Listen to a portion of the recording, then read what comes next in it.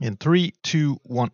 And hello, and welcome to yet another episode of C for game programmers who want to do game programming and other things good too. Um, right, so welcome, welcome Boku D back in the house because he hasn't been here for a while. Uh, Luke and uh, Cynic, the uh, the regular. So um, today we're going to be talking about uh, templates, templates, and I actually have two lectures prepared for today.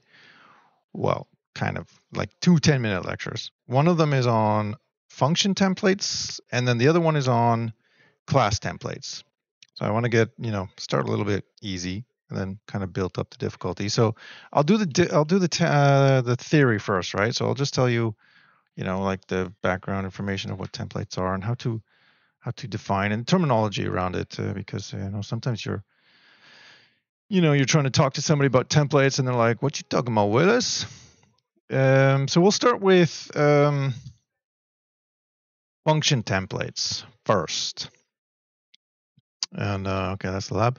Um, right, so just starting off, uh, welcome C++ for Games course. Uh, there's actually a course uh, lecture content that I'm developing for a course that should be launched uh, or you know run in September 2023. So the date on the slide says 2022, but uh, you know I prepared it last year, and um, every year I have to update the slides with uh, 2023.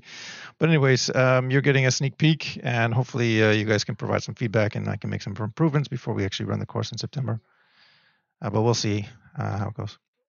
All right, so again, uh, you know, in this lesson, we'll learn how to create generic functions that can work with multiple different types. Um, yeah, I will say up until now because this is a series of lectures. So up until now, you've only written functions that work for a specific parameter type.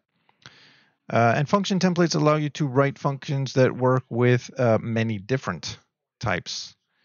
This is useful because we may want to create a function that works with, for example, both 32-bit and 64-bit integers or single precision and double precision floating point types. And instead of rewriting the same function for all the different possible combinations of parameter types, we can let the compiler generate the function uh, based on the argument types. So that's basically what templates allow us to do, right? You probably knew that already, so let's get into the more interesting details. The definition of a function template starts with the keyword template, as can be seen on the slide here. The keyword template comes above, uh, well, not above. Actually, it doesn't really matter, but as a you know, general rule of thumb, I just put the template signature above the function so that the rest just looks like a regular function. But, you know, C++ is white space agnostic. You can remove all the white space you want and put everything on one line. Somebody did that in their intake assignment. It was hilarious.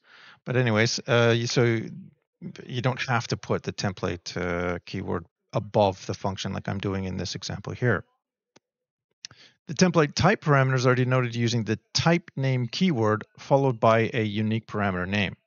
In this case, we use t to denote the type of the function parameters and the function return type.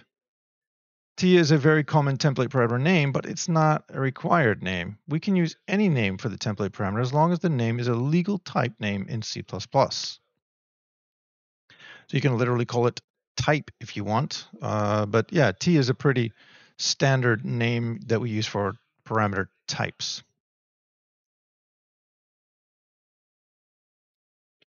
Given the function template defined in the previous slide, the function template is invoked just like any other function.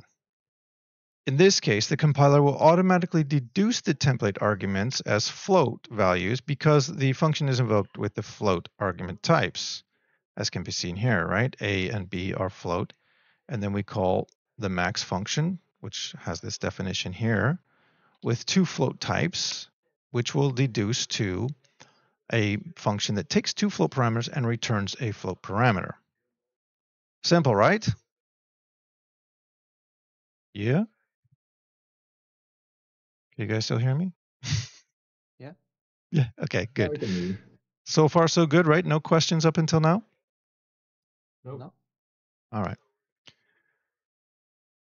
So when the compiler is unable to deduce the template type arguments, uh, for example, when mixing template argument types, you can explicitly specify the template arguments.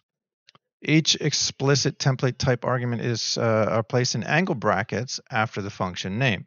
So in this case, the float argument a is implicitly converted to double when invoking this function. So we can specify, we can force the compiler to use a particular type. Uh, in this case, we want the max function to deduce to a double type, um, even though the parameter a is a floating point type. All right, so if we just uh, try to get it to deduce by not specifying the type like we did here, the compiler would give us an error or a warning, or an error actually, because it wouldn't be able to deduce the template argument type if you, you were mixing the template argument, uh, sorry, the uh, parameters passed to the function. Does that make sense? I think that makes sense, but maybe you're like, can you explain that a little bit more detailed? I think it makes sense. I would say more, but I'm muted right now because my mic is terrible. Okay. Yeah, just uh, use uh, Morse code or something. Beep, beep, beep, beep, beep, beep, beep. Just kidding. All right. Anyways, another way. Sorry. Oh, I said that would work. That would work, yeah.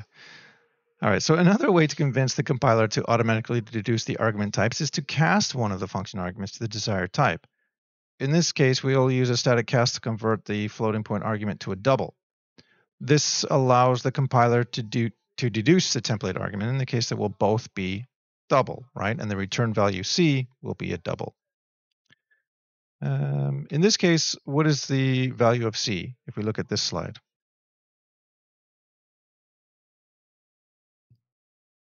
Uh, the value or the type? The type. A double? It's also a double, yeah. Because if we look at the template, right, the, the return value here, let me just put on my laser pointer. Hopefully this shows up. Laser. You see the laser? Right, so the return type T is also uh, the same as the template argument type. So if we rely on deduction or uh, explicit deduction or explicit template argument, then the return value here, T, will be also double which makes C a double. In this case, what is it?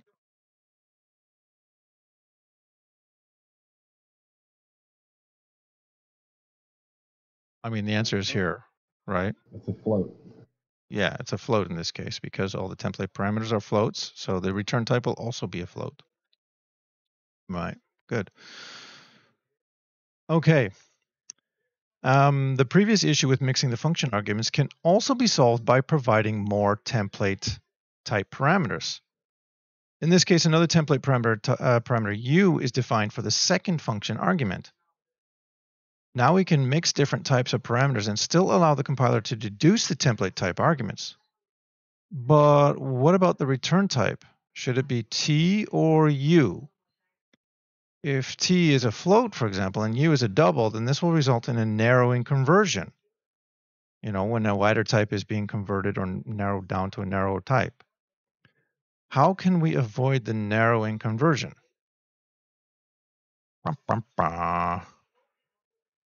Well, of course, I'm going to tell you on the next slide.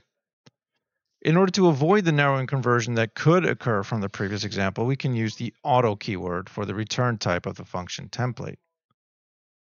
This allows the compiler to automatically deduce the return type based on the return expression. And in this case, the template return type will be either T or U, whichever is the wider type.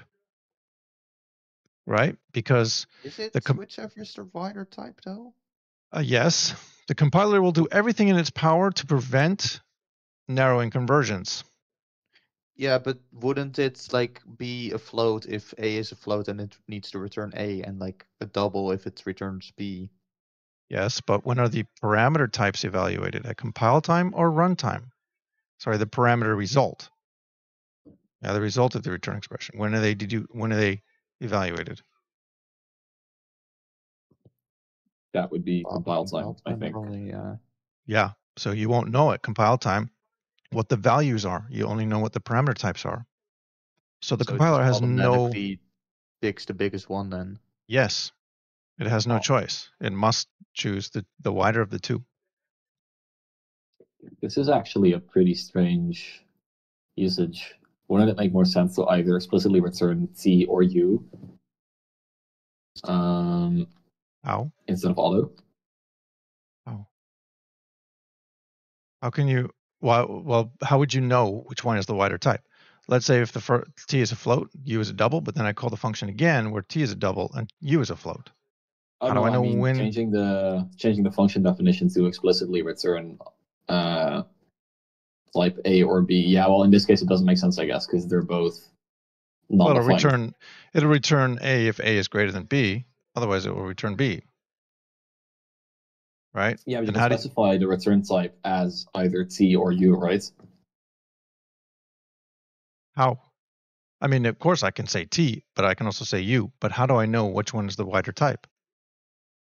Yeah, yeah, that's not what I'm talking about here. I just kind of mentioned like it's strange to use auto as the return type for a method like this, but I guess it makes sense here. Yeah, I mean, this could be integers because because it could be chars. It could be floats Yeah, and yeah, sure. doubles. It could be any mixed types, right?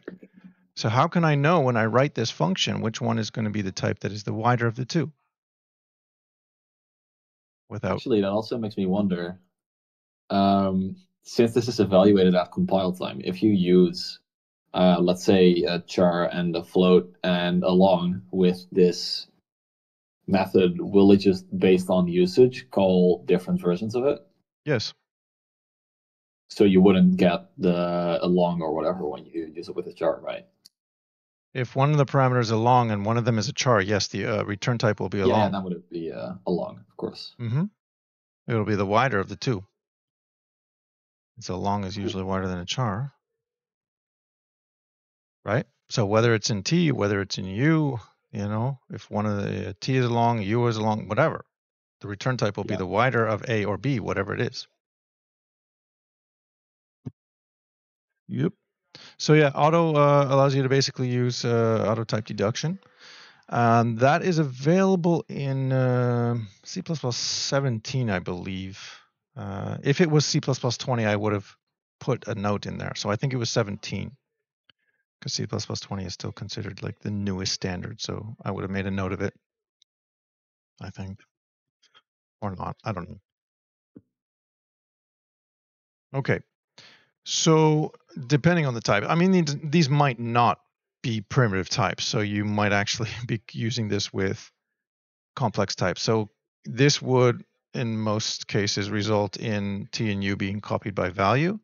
For primitive types, this is not a problem, but for other types, you might want to avoid the expensive copy operation and the requirement that the type T is copyable. Uh, so we can avoid uh, copying uh, values um, by um, by using const references. Um, so suppose we want to allow our function template to be used with more uh, more complex types than just primitive types. Uh, as you're aware, passing an argument by value creates a copy of it. And uh, if we want to avoid any unnecessary copying of function arguments, we can use the pass by reference uh, semantic instead. Uh, now that the function template can be used with both primitives and complex types without creating any unnecessary copies. But what about the return type? this is where it gets fan, uh, funny. The auto keyword never deduces a constant or a reference. And in this case, even if we return a const reference, this will always be returned by value. So how can we avoid the copy on the return type? We can't just make a con- this a const reference. If T and U are reference? Sorry? Something? Const auto reference?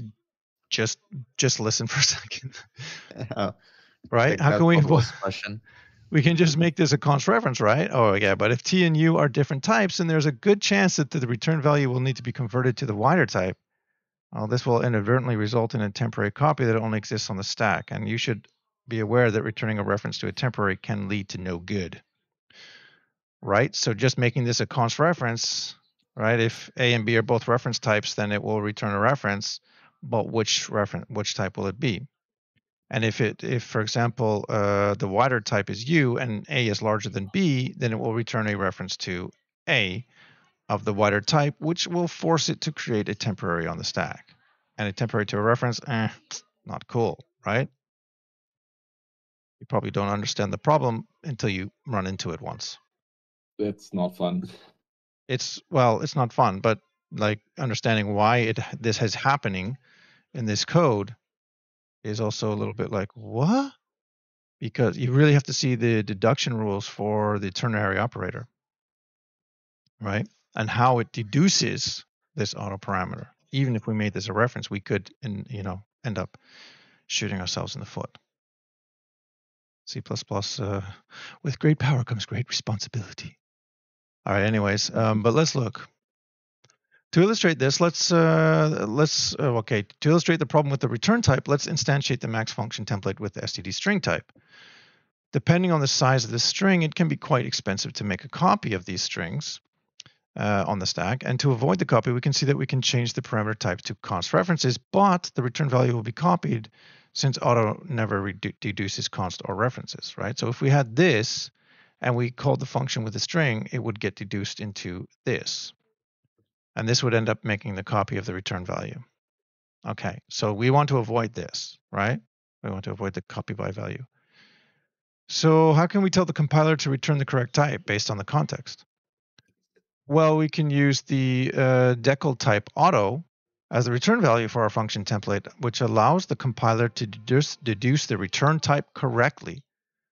When both A and B are the same type, the return type will be a reference, uh, a reference, and when A and B are different types, then the result will be returned by value, which is exactly what we need. So if we call this function with both uh, A and B uh, as the same type, then it's very safe. It's perfectly fine to return one of them as a reference because we know that the lifetime of this object should exceed the lifetime of the function, right? Because they're both references and they're both strings, so safe. Um, if they were different types, then uh, this would be deduced as a value, right? So because if it needs to cast or convert one of the types to another value or to another type, sorry, then it will result in a pass by value or a return by value, which is also safe. Okay, so decltype auto to deduce uh, the return type properly uh, based on the passed in parameters of T and U. And what if you have one uh, string type and one const string reference type? Or is that Uh, possible? Yeah, if you rely on uh, template type deduction, both parameters will their types will be deduced, but since we add const reference directly to the types, then they'll always be passed by const Yeah. reference. Okay. And because of const and reference collapsing rules, even if T and U were const reference types itself, they would collapse into a single const reference. Yeah, something about const, const collapsing and reference collapsing. So you can't, s- for example, you could say const, const, const, const, T, ampersand, ampersand, ampersand, ampersand. The compiler will just collapse that into const reference. Right? Because he's like, okay, I we know had it's a a discussion reference. about that today, right, Lasse? Well, it wasn't much of a discussion. Well, true, but why, like with the double, uh, the double const in the the function parameter. Yeah, big. Th- those are different const again. Like that's not. Is not- that doesn't apply here? okay? uh, Whatever. We'll, we'll Yeah, never mind. It depends on the side of the reference symbol that the const. No, well, for references, that's not the case. For pointers, there is a difference Yeah, we between were talking about a const pointer const. pointer. Yeah, a const pointer to const data. Right. So if it's a const on the left, then the data is const. If it's a const on the right of the of the asterisk in, in the case of pointers, then the pointer itself Oh. is const. Now I see what. Yeah. Okay. Never mind. That you can put the complete const on both sides, then you have a const pointer to const data. Neither the data nor the nor the pointer can change. Yeah. But references But can't be that- that- changed anyways. You cannot Yeah, at that point, modify a reference const after reference. it's yeah. yeah. So then this is the doesn't matter. only for references. This is the only way you can specify const. Putting it on the right side of the const might either a ignore it or b generate an error. Yeah, but for pointers it definitely matters. But if you have const const const const on the left side of the reference of the pointer, it will collapse into a single const. Okay. Right. So um, C++ 20 introduces abbreviated function templates. They're called. Uh, simply put, the template parameters can be replaced by the auto keyword, and the function parameter types are deduced automatically based on the arguments passed to the function. Um, so as you can see, the oh wait wait wait wait wait, wait, okay. So um, this is the same as a template parameter, and both a and b will be deduced to whatever type they are. Right. So if a is a double, b is a float, well, that's what they'll be when you when the function is generated That's why, again, we use decltype auto because we can deduce the correct type based on the past parameters and the return value. Yes? But what if we need to know the type of one of the parameters? Um, for example, let's consider a function template that swaps the two values. In order to perform the swap, we need to store the value of a in a temporary. Uh, then we can use the decltype again to deduce the exact type of a. But there's a problem here. Uh, if we run this function, we'll see that both parameters get set to the same value. But why? What is a's type?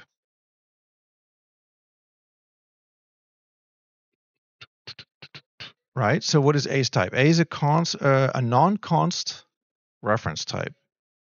It has to be because we want to swap the two values around. So we cannot use const auto, right? Mm-hmm.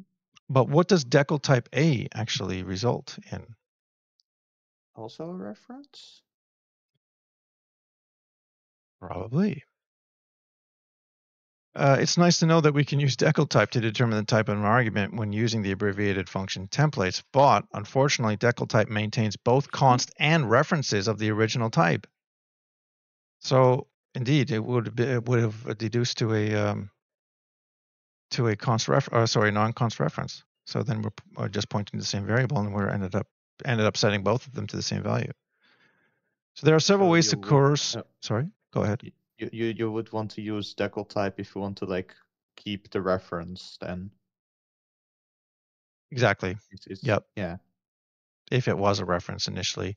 But you can also just, like we're doing on the parameters, just implicitly put or explicitly, I should say, explicitly put the ampersand on it if you if you want to guarantee that it will be a reference type. You use decltype if you want to use the exact type of the template parameter. Yeah, it's more like inside for more for use inside templates then, right? Yes, definitely, Yeah. definitely. Where you don't know, you know, you need to you need to create another variable of the same type or something else. So you need to like, what is the declared type of this variable? Then you use decltype. Uh, All right, and okay, so there are several ways to coerce the temporary variable to be a value type, but probably the simplest way is just to use auto on the temporary variable as well. So unlike decltype, auto ignores both constness and references of the original value being assigned. So now the swap function behaves as intended, but the cost of the three copies is be, uh, at the cost of three copies of that variable me- being made. First, A is copied into temp. Then the copy is made be, uh, when B is copied to A. Right? Then another temp when co- uh, it's copied to B. So how can we avoid these potentially expensive copies? That's something to think about. How can we avoid these? Well, okay. So this will result in um, copy semantics, right? So there's another type of semantic. What's the other one called? Recent in C++ 11. I would say recent. It's recent to me. I mean, for you guys, you probably never heard of Uh, move, I guess. Move semantics. Exactly. Right. Uh, All right, so it's probably a little bit of an advanced topic, and I don't really want to get into this too much detail right now. But how much or how this works is exactly, but if you really want to know, don't skip this slide. Okay, as we saw in the previous slide, uh, we could swap two values by creating a temporary variable, variable copying the value of one into a temporary, and then copying the original value to the other, and then finally copying the temporary to the original. Phew, that's a lot of copies, right? And if the values that we're, uh, we're swapping contain gigabytes of data, this would be quite an expensive operation. But what if we could just move the data into the temporary instead of copying it? So maybe you don't know what a move is yet, but uh, what is a move, you ask? Well, this is just the, this is the complicated part. A move usually consists of just transferring a pointer to the other underlying data. In the case of very large data, this is extremely efficient because the only thing you need to copy is the address of that data in memory, which is usually just a 64 bit integer. Obviously, not all types can be moved. For example, there is no added value in moving primitive data types. Moves and uh, move semantics are usually reserved for complex types that manage dynamic memory, like std strings. I will talk about the difference between copy and move sem- semantics later another time, but for now, uh, let's just it's just good to know that this is a thing. So this is our perfect swap, almost perfect swap. I think there's a actually a better implementation of the swap function. That was a lot of information. Um, so about function templates that has been covered. Um, so let's review. So you you learned how to define a function template. You learned about template type deduction and the auto return type deduction. You also learned about decltype operator, which can be used to deduce the exact type of a variable. And you also learned how to use the abbreviated function templates to define templates more succinctly. And you learned a little bit more about move semantics and how they can be used to avoid expensive copies. If you want to learn more, and I know you do, about function templates, I recommend you read Chapter 10 of the Beginning C++ from Novice to Professional. Additionally, you can also consult the C++ language reference on function, function templates on cppreference.com. All right, that was it. Uh, any questions? Uh, yeah. So you've been using type name for templates, right? But uh, there's also like other ones, right?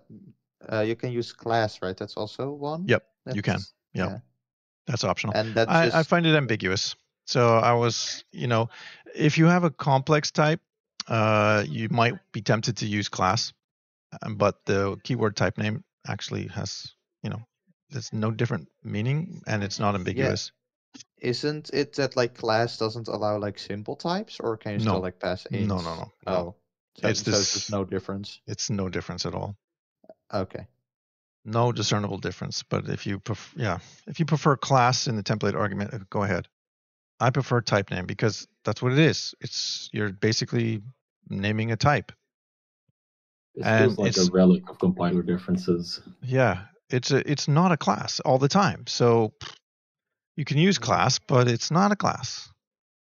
It's a type I name. mean, it can you can use it to like make your codes more, make the intentions clear, I guess. if you want, if you were saying this has to be a class, Yeah. Sure, you can do you. I'll do me. Yeah. it's totally up to you. You can I'll- also I'll- just I'll use also the that. right. You can just use abbreviated types and then no type name, no no class, whatever.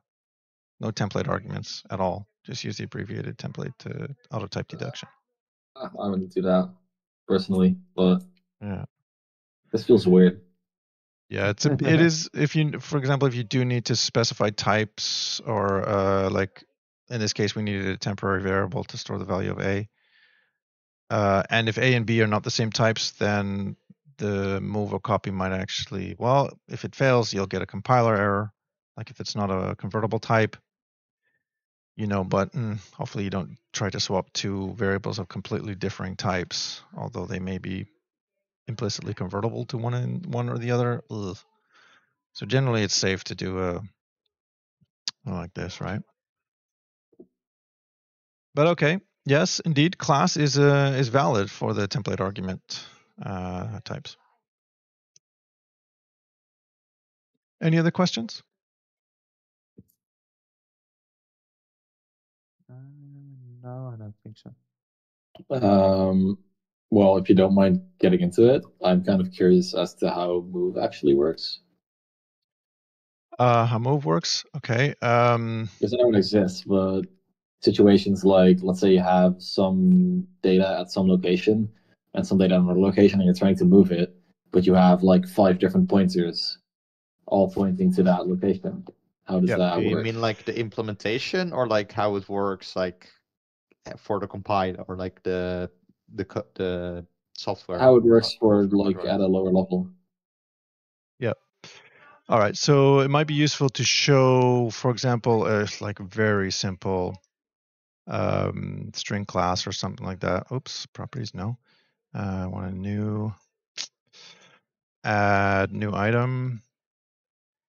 I'll, I'll just make a class because it'll also create a header file and a CPP file for it. Uh, let's call this uh, string with a capital S, so it doesn't conflict with the standard template type. Nice. All right, so uh, let's suppose, suppose we have this class called string and we want to store some private data to. Um, is that no? I'm just thinking. Is that a good way to do it? Uh, obviously can't be. Let's make it an unsigned size. Actually, you know what? We'll stick to more standards.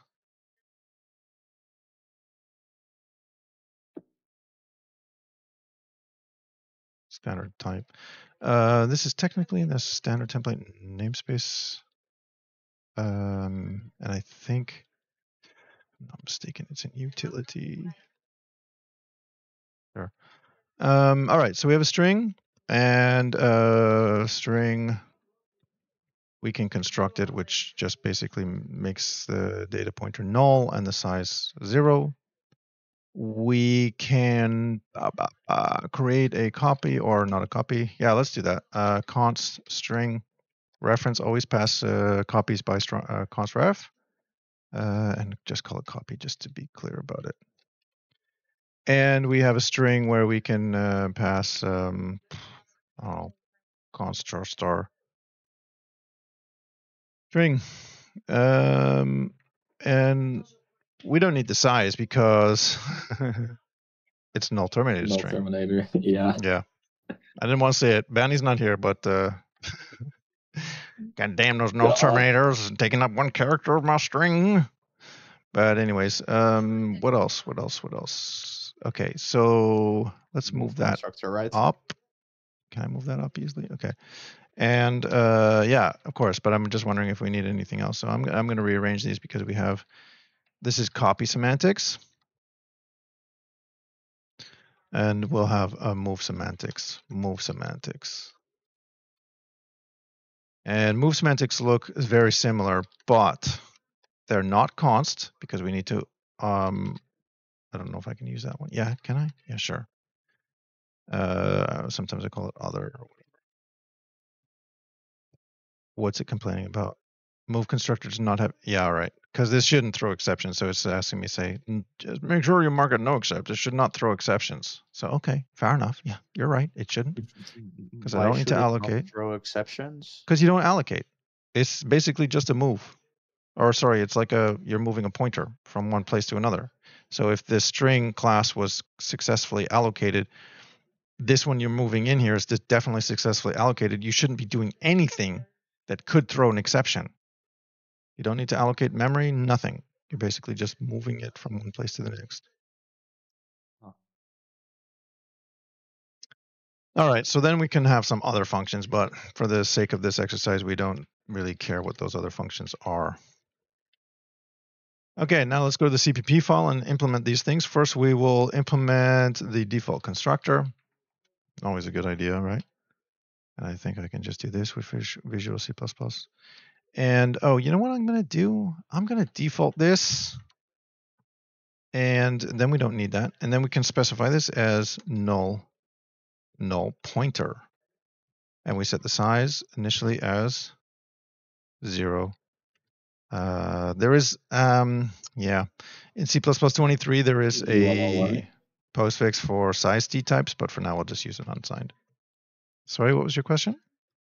Uh, I was saying you can do it directly as ULL, right? Or does that not?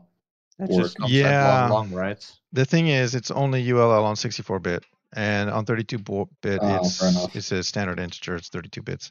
So size T is really about the maximum memory address that you can store. So I'll just use unsigned because whatever, it's good enough. I can also do something like this, I guess, and I guess it will just Can Eh, you maybe I'll- just do zero and it should like deduce the type? I think that's just No. the best option for No. here. Zero Oh. is an integer, signed integer, right? So if you say, oh, okay, you can't really see it, but just u by itself is a signed integer. So we could do this. I guess that will work, Oh. right? And then we don't have to actually define the constructor. We can just get rid of that. Wait, isn't size T always platform specifically going to be defined as like a 32 or 64 bit unsigned integer, anyways? Or Doesn't have to be unsigned actually. It is, but what is the literal? What is this? If I just do zero, what is the this literal? Is it an integer? Is it a 64-bit integer, 32-bit integer, 8-bit no integer, idea. signed integer, unsigned integer? It is a signed I integer. hope, I would hope Right. that the compiler knows that that's not what we mean, but I guess not. I like to be really explicit with it. And since with size T, it's dependent on the platform or the architecture, I should say. Um, I'll just leave it as this because this guarantees that the entire value is initialized to zero. Yeah, that makes sense. Should be. And this should should initialize this to null pointer. I guess, but okay. So let's first do the uh, this one. Um, and we can't just assign the pointer. Well, I guess we can. Um, no, we can't. No, because we don't own the memory, Copy it. right? So Yeah. we need to know uh, how big it is. So for that, we need. Oh, what was the value? Size is equal to uh, uh, Like uh, string lang. I think it's called string lang. Yes. But it's where is it? There in it is. uh, strength. Sure, sure, sure. And then a string, right? And then we need to allocate this. So this will be um, excluding the null character.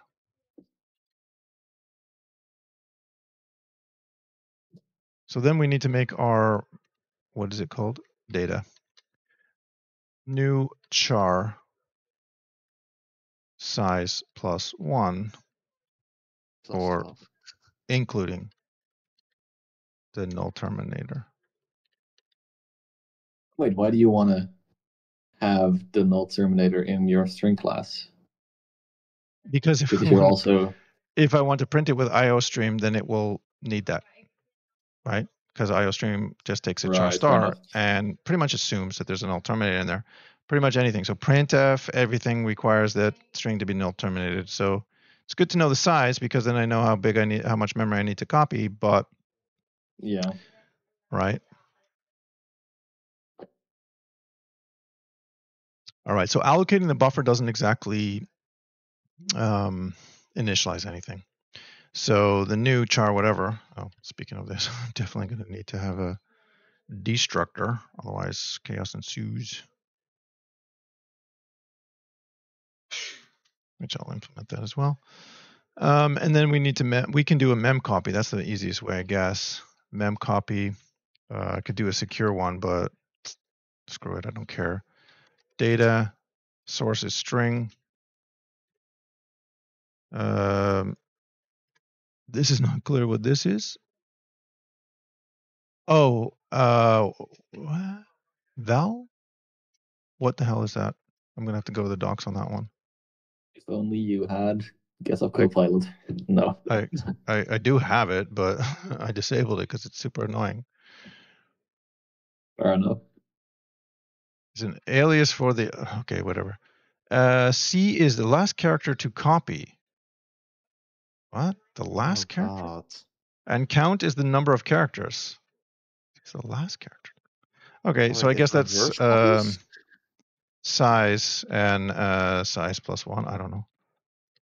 Just keep it size. And the types are different. So this one's an integer, and the oth- last one is actually expecting a That's size t. so weird. The last character to copy. Wait, memc copy? Aren't you using the wrong? Oh. Yeah, that makes geez. sense. Oh, Mem copy. Yeah, thank you. Duh. I'm like, what the fuck? I've never seen this before. That's yeah, right. That Yeah. makes sense. So we'll just copy that data in there, and then we'll set the uh, data at um, size minus one to the null terminator as a single character. plus one, right? Like, No. Minus one. Yeah, because That's the empty um, array. yeah. oh wait, no, actually, no, it shouldn't be. Oh one wait, minus but you did size plus one, because- so now it's Yeah. size. Yeah, exactly. Yeah, I did it on the data type, not the size of the string. So the last character will be set to the null terminator in this uh, array. Okay, good. I think we have a good string initializer. Um, so that required an allocation here and a mem copy. So okay, fine. I mean that's a necessary evil. We got to do that. All right. So for this one, we basically got to do the same thing. Um, our data hasn't been initialized, so we don't have to worry about like cleaning up any data, but we do have to make a copy, uh, copy the data and the whatever. So then we go, uh, let's see, data, we have to allocate. Uh, oh, well, first let's set the size. Size is equal to copy dot size. So if we, um, what did we set it to? Yeah, so that's without the null terminator. And then we have this new this as well, char. Size plus one. It's been so long since I've used new. and mem copy, not mem c copy. Uh, destination pointer will be data copy dot data and uh, size. Size plus one, right? Because you want a null terminator with it. Yeah, in this case, I guess I can copy it over uh, if we assume that the data contains the null terminator. I mean, you can also do that with the first one because string length already requires the null terminator, right? So it, Right. it has to be the you mean this string that's being passed in? We assume it has the null terminator. Well, it has to because the string length function requires null Won't work. Without an Yeah. alternator, yeah. Let's assume that it's good, and then we can just get rid of that. Oh, Okay. so much cleaner. So should I actually set this to size The plus same one thing. right from the begin right from the beginning? Um, all right, but that's it. That's we don't. Maybe. No. Right? No. No. Uh, no, it's fine. Let's just leave it for the example. I mean, in your own implementations, you can you know change it whichever way you want. Okay, so that is a. Okay, come on. That is a copy operation, so that requires again an allocation and a mem copy, right? Pretty obvious. Now, for move semantics, it's a bit more complicated, but basically we don't need to do anything. We just say size is equal to move dot size, and data is equal to move dot data. That's it. We're done. Except are we? Because now No. the move function still contains the size and data that I moved into my string. Yeah. So one additional step I have to do is move that size is equal to zero and move dot data is equal to null pointer. I'm not deleting anything. I'm simply moving it into another string. Oops. Yes, so that is move semantics basically in a nutshell. Um, but you see, for primitive types, nothing's being moved. It's basically just copying that primitive type, but we definitely need to reset that. Otherwise, size is not going to be correct for this null string.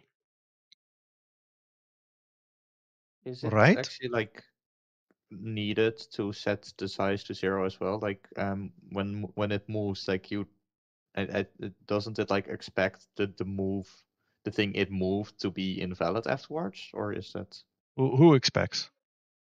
the the user, right? The user. The user? But what if there's a library function that tries to print the string based on the size? Who knows what's happening in the implementation? So yeah, if size is representing the size of the data that's that's pointed to by the data pointer, you better set it to null or zero yeah. I, I, yeah, I guess. because the string it points to is no longer doesn't contain any characters, so it's definitely size is zero. Right? If you wanted to test this this string length, you go, okay, well, what's this? Yeah, yeah, what's the yeah. length of my null string? Oh, uh, well, if I just use the size value, then it would be wrong because this this string is null. null. But So yeah, no, no, I, I kind of thought it's- that like um it was like defined as like when you move something, it's like leaves the the object in an invalid state. No, no, no, that is not safe. That is not safe. Because look what happens now because we're going to implement our, our destructor. And what happens if we try to delete a, a null pointer? Uh, that works. That works, right? Yeah. So it would be completely unsafe to leave it in the in, No, no, no, no. I'm I'm in not a talking non-state about the, the point pointers because that will like affect the the string right, it moves let- to. But let me the, ask the group here. variables. Let me ask the group.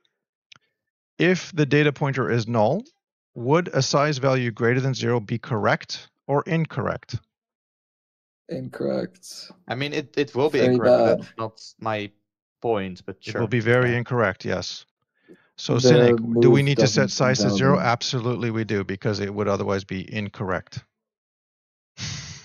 That's the bottom line. The move Don't doesn't leave- invalidate the, the memory, so it's not deleted. It's not it's Okay. not deleted, not at all. No. The string that I'm passing to this function is in no way destroyed. The data that it points to is simply being moved to this string's data. That's it. This this is still a completely valid string. So if we leave it in a valid state, and we want to check the length of the string, and we get back something other than zero, when the data has been moved to another string, it would be wrong. Correct? Mhm. Do you do you agree? Okay. I mean, I also agree that it's like better, but. That But you're worried about the operation, the cost of setting a, an integer or a size t parameter to zero. No. no, just like thinking about if it like is actually like required as well. I mean, of course it's not required, but like. I would do it. I would do it. Yeah. Why would it not be required? If you're a library writer, don't leave your data in a completely unknown state. Do not do that. Everything should be like preconditions, post conditions, everything should be valid. Right? So if you have a string that's zero length and you have a size that's not zero, it's not good. Okay, so end of that discussion. But now do you uh, understand the differences between move semantics and copy semantics? So move, uh, yeah, move is much cheaper because you're just moving pointers. You're not allocating anything. You're not mem copying anything, right? You're just moving Oh, pointers. It's super cheap. Super cheap. Move applies to a class, so you're only m- moving the class members, but that means that it's not gonna apply to some random pointer you have. But does that mean that if you have, let's say, uh, a test class which contains a pointer to a giant array in there, and you move it, and you have a random pointer to that, it's still going to work, of course, because that pointer still points to the same data because the data wasn't actually moved. Uh, sorry, one more time. Um, what I was worried about earlier is if you have a pointer to some random data that is a member of a class and you move it, um, that pointer is of course still going to work because the data wasn't moved, just the class instance members. So that would the not be a yeah. problem. Just the underlying pointers are being moved to a different to, to a different instance of the class. Yes. Yeah. Um, so let's see what happens. Um, Actually, what happens if you uh, default the move constructor? Is that the thing you can do? to default the move constructor. Okay, so if you want to, you can default this. That is a possibility. You can actually default every one of the uh, special functions. Yeah. So that's uh, per, um, default uh, constructors, parameterized constructors. Uh, no, you can't default par- parameterized constructors. Sorry, um, but copies and moves and operators, uh, copy operator and ass- uh, assignment operators, which there are two. So let me just write those out, because uh, let me just think, think, think. Yes, no. Uh, string operator equals. This is the const uh, operator. Other, I always call it other. Uh, this is a non-const operation. And then we have the move semantics, which are which are very similar, but again, they just take the double referenced version. So these can all be de- defaulted, right? So copy, move. This is the copy assignment operator and the move assignment operator. These are slightly different in that you have to delete the the underlying memory before you do the copy or move. So for example, uh, we'd have to do this: delete data. We don't have to set size to zero because it's going to be changed anyways.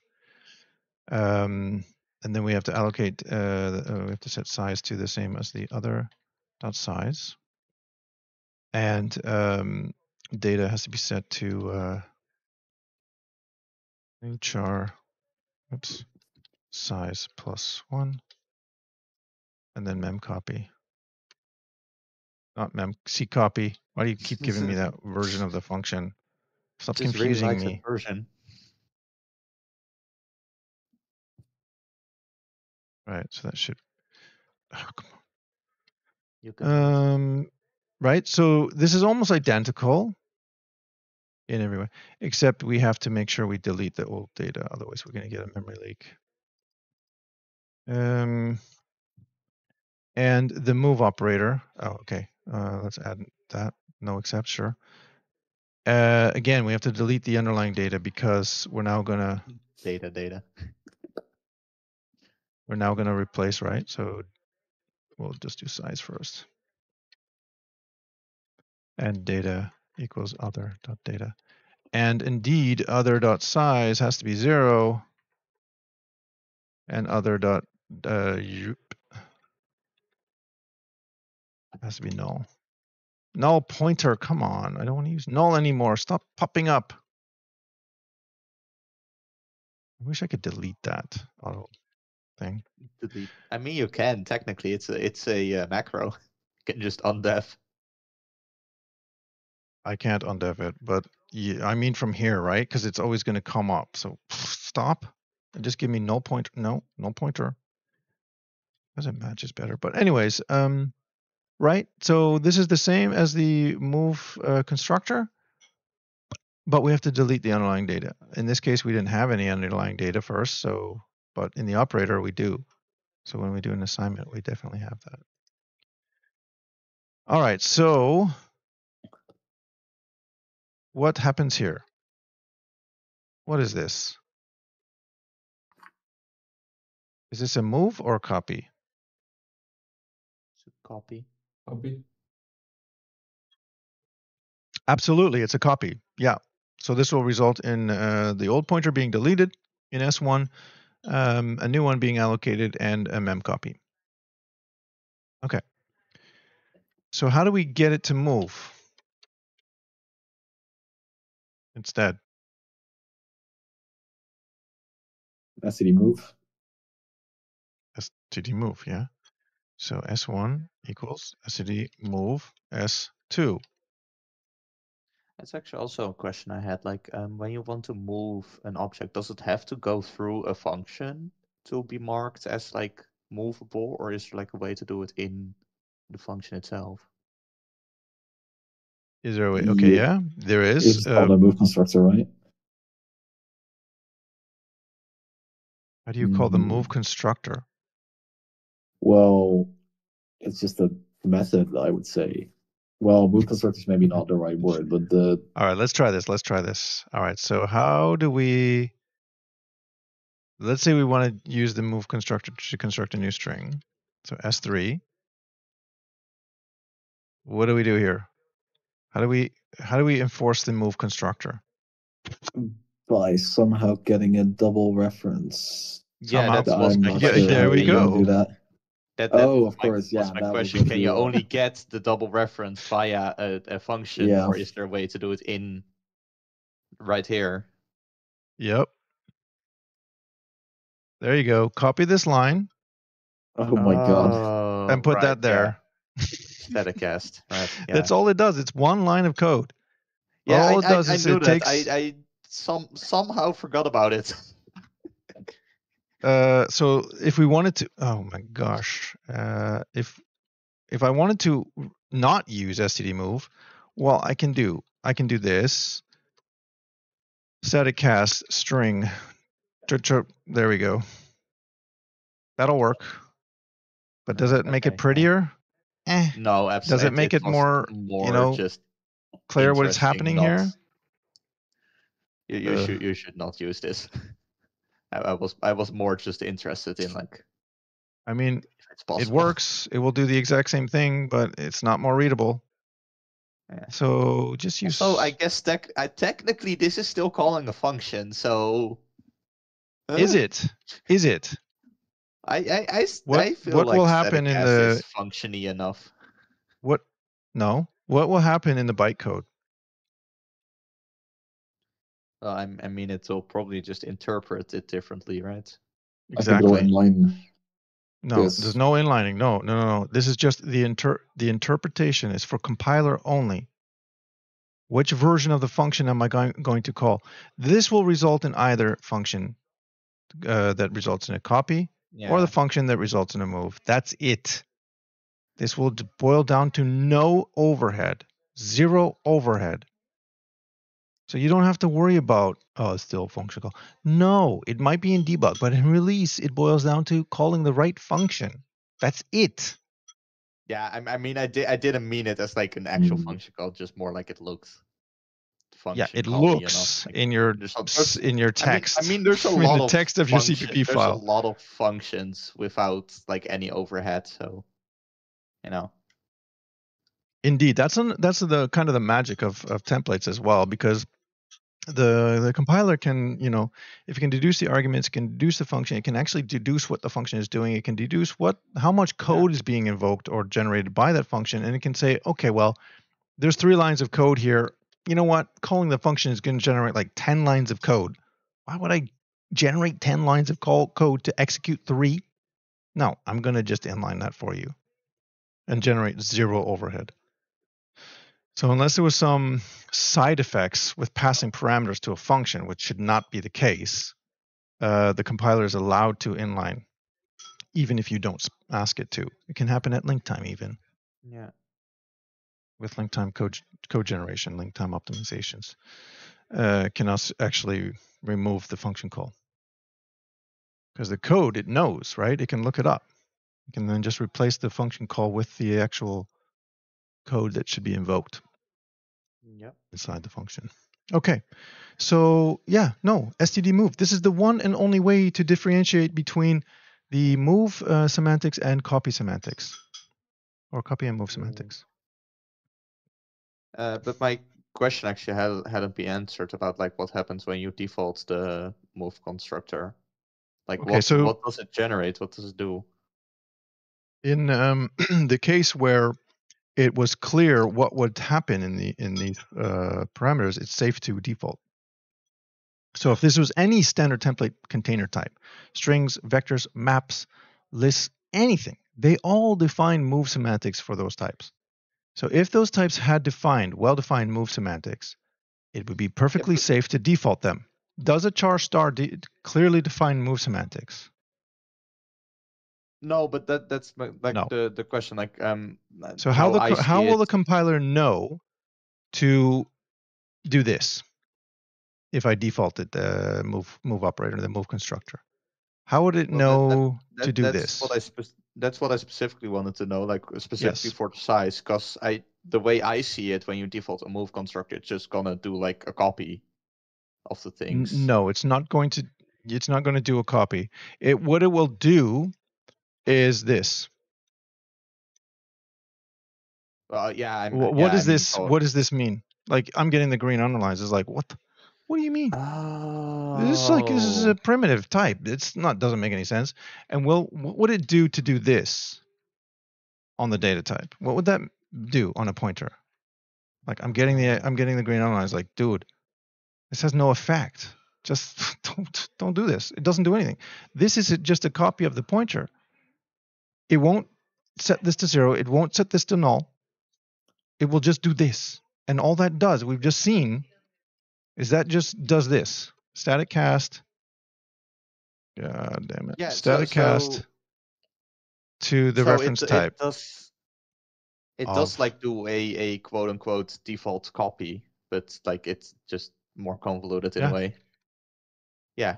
So- More Well, convoluted, incorrect. exactly it will copy, be right? absolutely incorrect. Well, yeah, it, it it tries to move everything, but because they're Yeah. default like basic types, they they just get copied. they just get copied, what's but it doesn't right? know to Yeah. set them to null. It doesn't know to do Yeah, yeah, no, no, I, I I know that like the that's like the problem. Like with with pointers, you basically can never default something because it rarely does that correctly. But other Yeah, than that, if, your like if, your you class contains raw pointers- it doesn't know what to do with them. If, on the other hand, it contained a unique pointer, right? Oh, yeah, it's also If this was a unique pointer, which I haven't the memory header file, but unique pointer uh, char, or would- I should better said char array because that's really what it is. Um, yeah, I want the memory header file. Did it actually put it in here? No, it didn't. Okay, so Isn't wait, doesn't uh, taking a unique pointer of a char array doesn't that make it like a two-dimensional array? Isn't that like bad? no. No, Does- this just says that this is actually pointing to a, an unbounded array. Right, because in like normal C++, when you take like a pointer of a char array, you do end up with like a two double array thingy, right? Because you end up with like Um, a pointer of a pointer. and everything is going wrong here. Um, but anyway, so then we would have to, we could say uh, data is equal to make, uh, make unique, should be std make unique, make unique, and then, um, well, we already, and then the, and then the parameter becomes the size. Okay, so then it's array. It's an array of chars. One. Hmm? Size plus one. yeah. Okay, sure. you know, I I mean you get it, right? It's not taking Yeah. the the data, it's taking in the size of the array. So if it's an unbounded array, this parameter becomes the size of the array, not the actual data that should be filled into this pointer or something like this, not the pointer. So if I said I could do this, but then this should not be an array, and then this will break even more because I can't assign a non. Okay, whatever. Yeah. Different different freaking lecture altogether. So I don't want to get Yep. into the details of this. Unique pointer lecture or share pointers, smart Yeah. pointer lecture one. That's a completely different lecture. subject, yeah, for sure. They Okay. should give that one. It's 10 o'clock. I'm going to take a quick uh, pause for a second and then we'll be back. Uh, okay, so we're back and um, now we will get into class templates. So let me just start up this presentation here. You guys are still seeing my screen, right? Yes. So, so now we'll uh, continue with uh, class templates. Um, right, so in this lesson, you will learn about class templates, obviously, and similar to function templates, class templates define a family of classes that can operate on many different types. As you will see in a later lesson, the standard template library, or STL for short, uses class templates extensively. And I want you to have a fundamental understanding of class templates before you are exposed to STL. Um, so disclaimer here, this is a series of lectures, so STL is coming later, but uh, not today. You will also learn about type and non-type template parameters. Uh, template specialization allows you to define a particular implementation of your class template given a specific set of template parameters. And variable templates allow you to define a family of variables. Uh, this is useful if you want to define some constant values whose type can be defined later in the program. Um, yeah, that's new in C++ 20, the variable templates. Uh, we'll, so we'll see an example of that as well. Uh, we'll also look at type aliases and alias templates, and type aliases allow us to specify a shorter, easier to remember name for our class templates, and this will come in handy later when we're doing our vector class demo. All right, so declaring a class template is very similar to declaring a class, except a class template starts with the template keyword, similar to the function templates, followed by the template parameter list. Now, in this case, it appears I'm using a different uh, notation where I have template type name t, similar to function templates, but I keep it on the same line. Um, technically, I would have uh, added a carriage return there. Let me just put on my laser pointer. All right, you guys see the laser pointer? Amazing. Don't be distracted by the laser pointer. Impossible. Impossible, I know. But anyway, so yeah, white space, no white space, it's up to you. The Eh, template, sorry? white space. White space, yeah. So in this case, I now have white space here, not uh, yeah. There I do, right? That was probably just to get it to fit on this uh, slide here. All right, so the template parameter list can contain three types of parameter types. The type template parameter, type name, non-type template parameter, in this case we have a non-type template parameter here, and a template template parameter, which is not shown here. Let's ignore the template template parameters for now and just look at the type and non-type template parameters. Type template parameters start with the type name or class for you Cynic keyword followed by the type name. In this example, I use the letter T to represent the type name. T is commonly used type name for type template parameters, but it can be any valid C++ identifier. The type name becomes an alias for whatever type is used to instantiate the class template. Anywhere you expect the type to be used, you can use T instead. And a non-type template parameter can be used to define some kind of constant value in your class template. In this case, n is used to represent the number of elements of the array. A non-type template parameter can be an integral type, like a boolean, a char, an integer, or size t. In this case, it's size t. It can be an enumeration type. Uh, it can also be a reference or pointer to an existing object or function. Uh, or it can be a pointer to a member of a class, so a member function or a member variable of a class. For now, we'll just stick to integral types for the non-type template parameters. In this case, size t is an integral, depending on the type of uh, platform or architecture. Size t is 32 bits or 64 bits, integer. And member functions can be defined either in the class directly or outside the class. Uh, but when defining a member functions of a class template outside of the class declaration, you must list all of the template parameters of the class template as shown in the code snippet. So here we have a, a uh, template class called array, has two template arguments, and it defines a default constructor. If we want to define the, uh, the implementation of the constructor outside of the class definition, this is the class definition, we must list all of the template parameter names as the part before the double colons here, right? So this is the actual class type. So we must de define all the uh, template arguments there. We'll see more examples of this as we go on. So to allow the, the array class template to be used like a regular array, we can overload the subscript operator.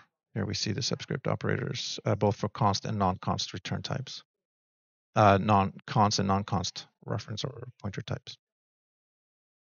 If you recall from the previous lesson on operator overloading, okay, we missed that one, so I we didn't go to that one. But anyways, we must provide both const and non-const variants of this method. The non-const version returns a non-const, so the first one, a non-const reference to the element in the array, and the const version returns a const reference. So this is the const the end of the function determines the the uh, either constants of the instance that we are uh, that we're working on. Okay, maybe you guys know that already. So this either allows the array elements to be written to directly when we have a non-const array or read only when we have a const array. Uh, and you may have noticed that the code duplication between the const and the non-const version. So here we have the non-const version, which, well, first just asserts that the value n is less than the number of elements in the array and returns the data.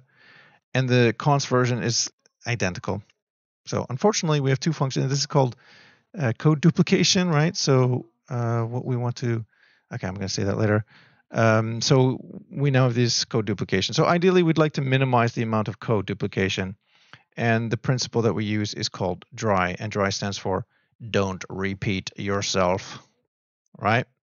Because we want to avoid duplication of code here. So, but in C++ 23, by the way, this is lecture for modern C++, so I'll introduce a, new concept here called the deducing this feature to remove this kind of code duplication.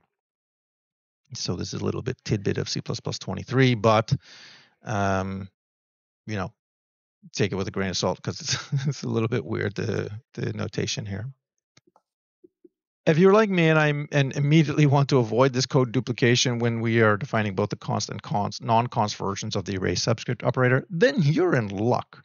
Because in C++ 23, a new technique to, to allow the compiler to generate both the const and non-const versions of the function has been introduced. In this case, it's called the deducing this feature the problem is that the implicit this um, the, the, this parameter to the function is a const pointer when invoking a const method, and in this case, we must return a const reference to the array element to prevent the data from being modified.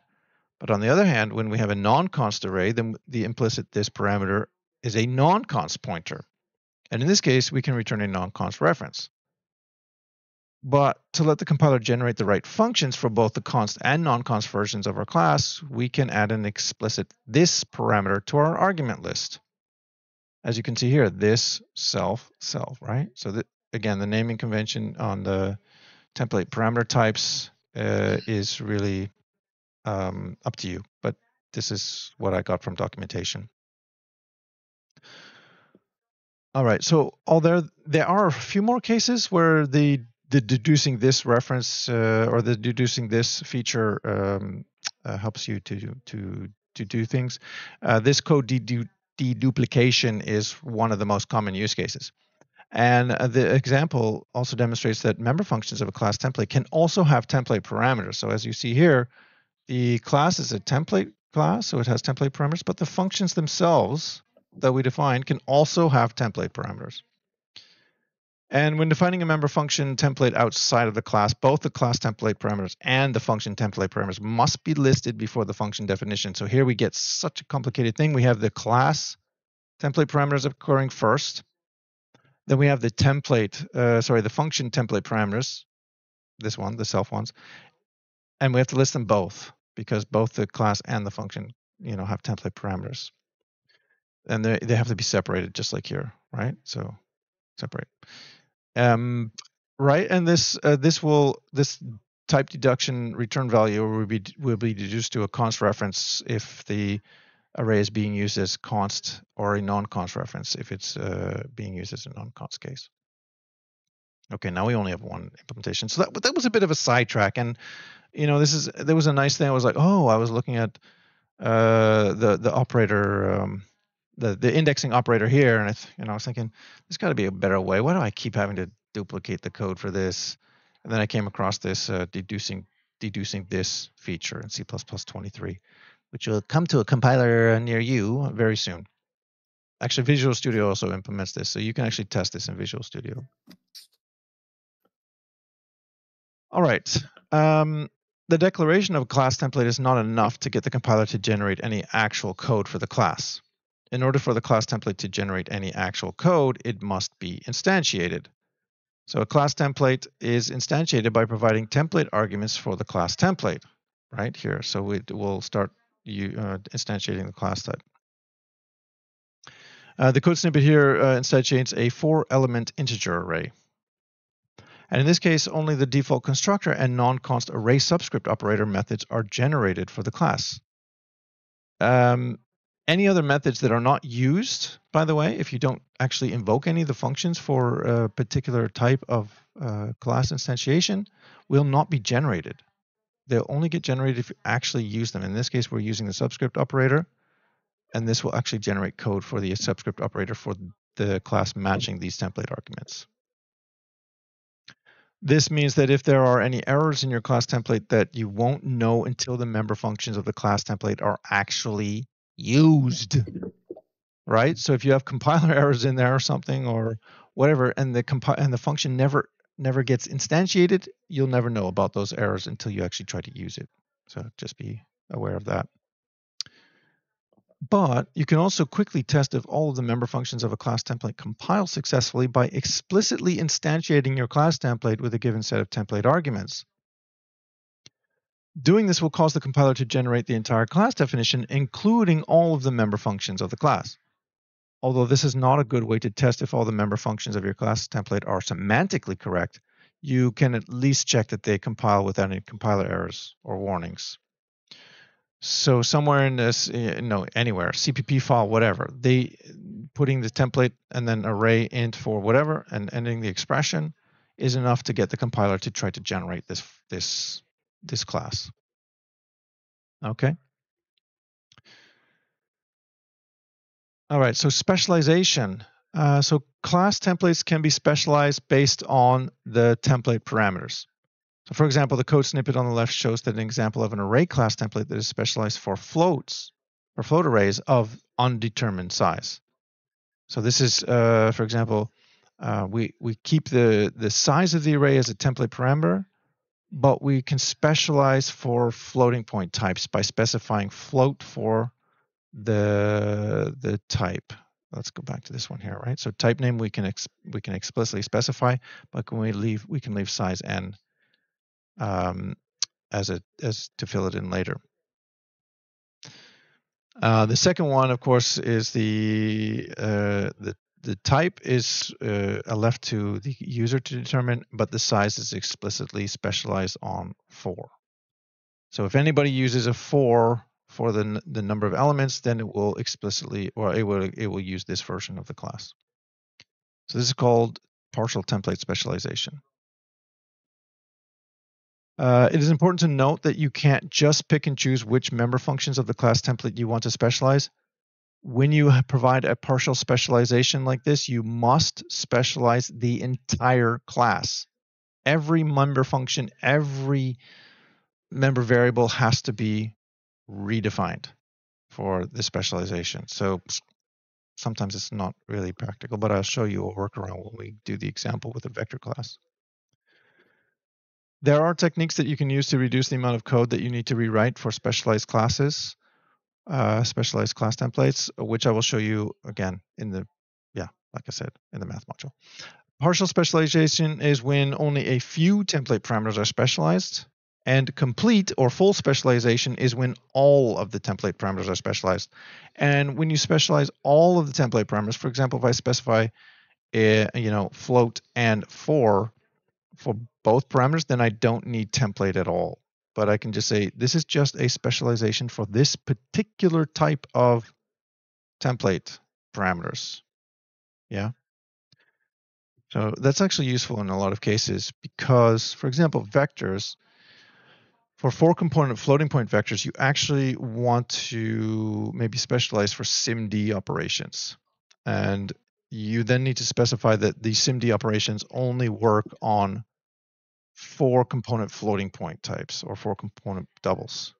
Uh, yeah, so three component or two component vectors don't have the SIMD equivalents, so you wouldn't want to have SIMD overloads for for those.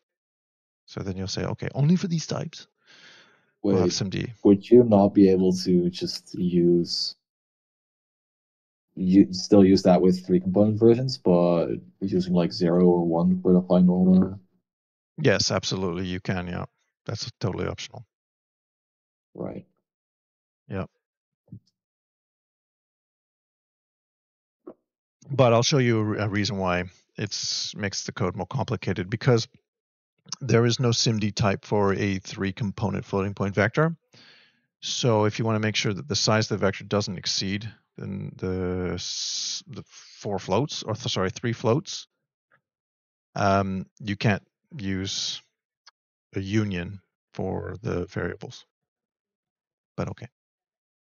Then you'll always have to use copies, right? So copy the data into a SIMD register, you know, add a zero for the padding, and hmm, code gets nasty. But uh, I can show you an example.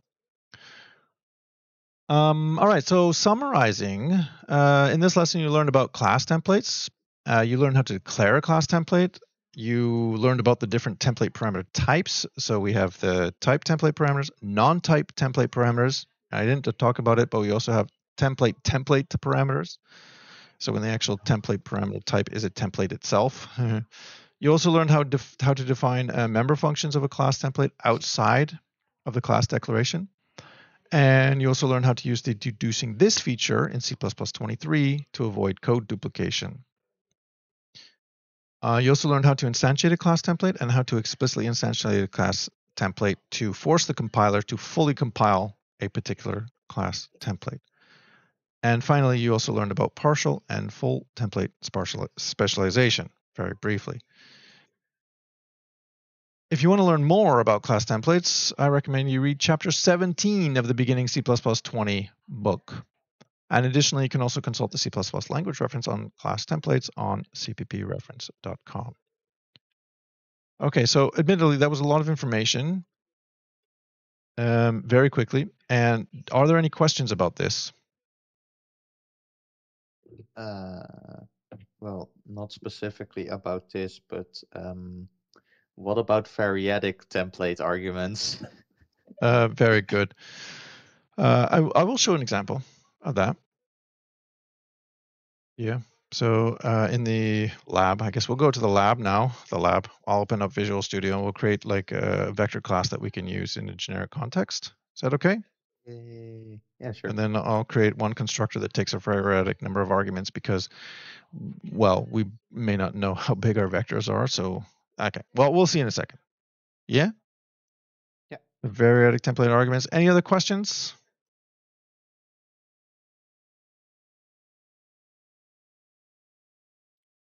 No? Okay, let's go back to Visual Studio then. Uh, and this show. There's that. Uh, so we have a string class. Let's create a new class um, for our vector. Let's just call it vector for sake of, you know, you know, risking that we're going to call it the same as the std vector class, but since it's not in the std namespace, well, no worries, right? And we want to make this a template class. So we need two things. We need the type of the vector, and we also need the number of elements because we can have a two component vector. We can have a three component vector. We can have a four component we can vector. We can even have five, six, seven, eight, nine, ten. If we want to create a generic vector class, we can have any number of elements in our vector. So instead of Are you, are you, You know, an array or a vector? A vector, So it A can vector. re- grow in size. no, because it's compile time defined. So static size,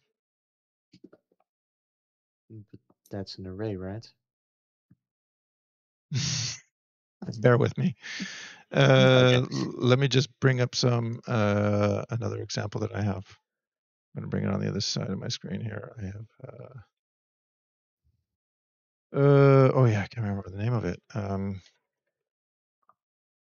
yeah, I have it now. Where I've actually implemented a templated vector class. I'm going to use this as a reference. I don't want you to see it because it's uh, nasty code. I did share it before in the group in the channels, but uh, I'll just use it as a reference for myself. And you'll you'll right away see the the problem with uh, specialization of vector types, or of sorry of templates. Okay, so um, for our vector, uh, because we we don't know how many elements there are going to be in there, the only sensible thing that we can do here is to make this an element of I don't know what we want to call this. V. I don't know what we're gonna. It's V's. Well, let me see here. What did I call it in my previous implementation? Oh, vec. I call it vec. V vec whatever. So the underlying member variable is called vec. Um, do I want to make it public? Yeah, I do. Yeah, I do. In this case, I do. Um, and let's just do this because we also want to initialize all the members to zero anytime we have this. All right, so we can have a default constructor. No problem, not delete, default. Default. And, uh, well, we don't need a destructor really because it's an it's a static array. So it'll just be cleaned up with the class. No dynamic memory here. We if we had dynamic memory, we would be we would not uh, we would not be cool. But the problem is now um, that I also want to provide accessors for the individual elements of the vector. I want to provide an x, y, or perhaps if the if the vector represents colors, maybe I want parameters for uh, the red and green channels, uh, or red, green, blue, or red, green, blue, alpha. But since we don't know what the size of the vector is, we can't predict in advance which individual elements we'll have of the vector, right? So then we might like you might see something like this in other uh, in other math libraries where they create a union, and then we do something like uh, we have vec, but we also have a struct, an unnamed struct. Yeah, I know. Uh, Themper's not here, so who cares? Uh, and then we have right. How do we know? We don't know if there's x, y. We don't know if there's x, y, z. Oh, geez, I can type. Uh, and we don't know if there's X, Y, Z, W. These are very common terms to be used for vectors, but we don't know n. So how can we fix this? If we don't know how many elements we have. Hmm? Tem- template spec- template specialization, right? Exactly. Exactly. So for now, I'm not going to use a union for this. This is the, let's just say the base type. For the base, base type, we only have a vector. But if we know the size, then we could provide a specialization.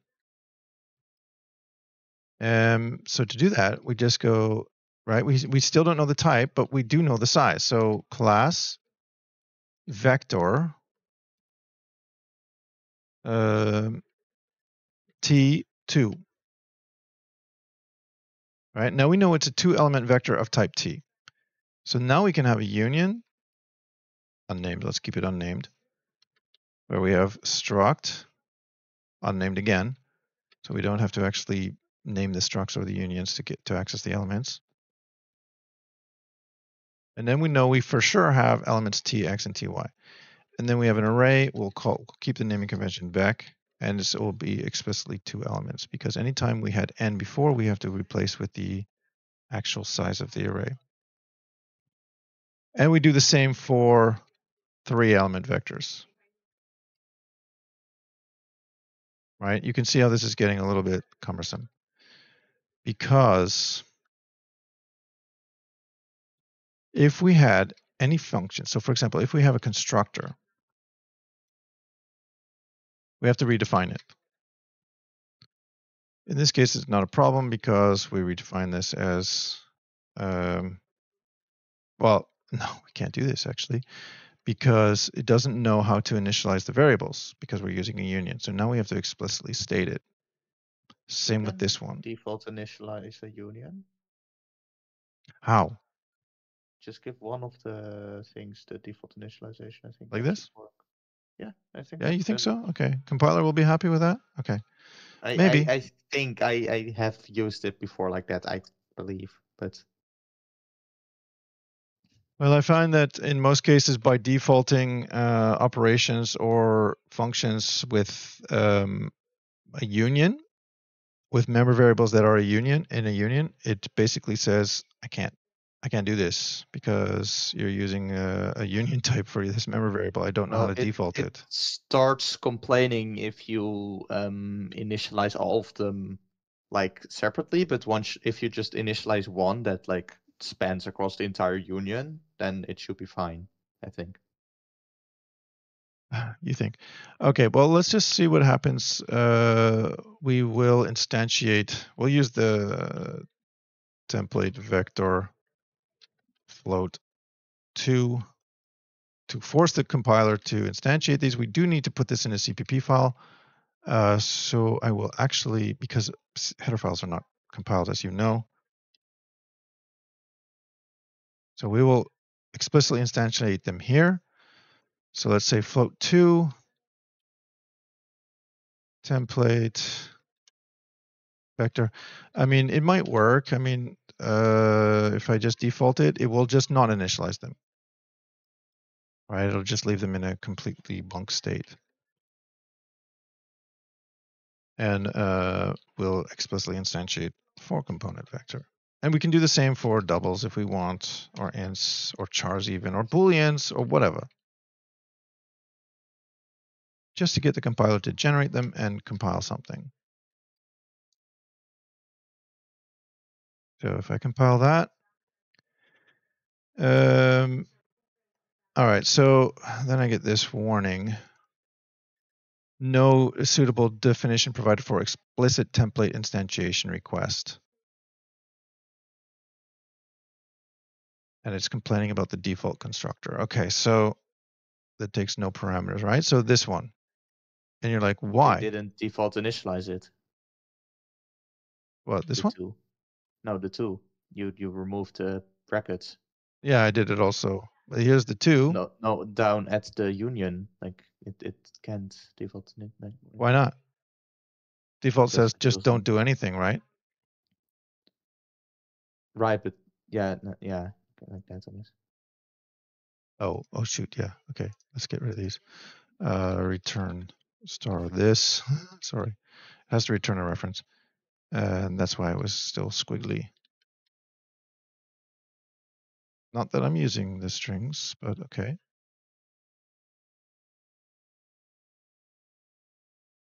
Uh, okay, we don't have a main function. Did I have that in here? Let's just add a main. Just to get this thing to come, because I think this is still set to, now let's change it to, why does it still create 132? We'll change this to a static library. Damn. Oh, we don't need a main. Don't need, okay, so it generated the template, didn't generate any warning. So this is fine for, for this case. But in most cases, if you want to default something that you probably, if in this case, I had problems with this in the past, so I had to explicitly implement it. But the problem gets bigger that we, if we want to do this. Um, so let's say we want to have an operator, a generic one. So plus equals usually returns uh, a reference to the original vector. Um, and it takes a const reference to another vector. The other, or actually my uh, my right hand side. So this one is the left hand side, and the parameter being passed is the right hand side of the operator. So let's implement that. Um, yeah, Visual uh, C++ is nice, and it will uh, generate this code for us. I don't have to type this, but as you can see, we need to specify the template parameters and we need to specify the return type with the template parameters and the class with tn and the function. So it, it gets kind of messy. Um, but zero i less than n, and then it's the vec i RHS vec i. This is what the generic version would look like. So this will work for n whatever, doesn't matter. And the comp compiler might even vectorize this for me, so I wouldn't have to do it myself. So that's nice. Okay, but now I have a specialization of this. Um, so now I need to do it again for the specialization. Oh God, really? Yeah, really, really, really, really.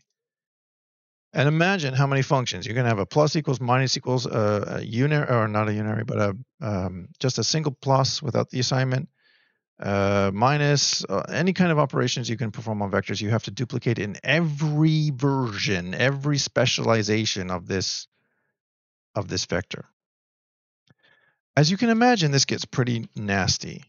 So let's get this generated again. So now I know what what n is. It's 2, but it's basically the same damn code. And remember what I said? What's the acronym I used before? Dry. Don't repeat yourself. And what am I doing? Exactly that. I'm Yep. repeating myself everywhere, and now I need to do it again for three and four component vectors. And okay, I give up. This is terrible. GLM is suddenly starting to make sense why they have their code so weirdly set up. Oh well, uh, GLM doesn't even do this. I think. So No, that they they specifically set it up so they don't have to like redefine it for every like um specialization they have. do they? Yeah, they they have like template functions that they call inside the template specialization. It's like a whole thing. Um, again, meta programming. It's fun reading your compiler errors when you fuck something up with GLM. yep. So, anyways, uh, a good solution to this is to create a base class. It has the same template parameters as the original.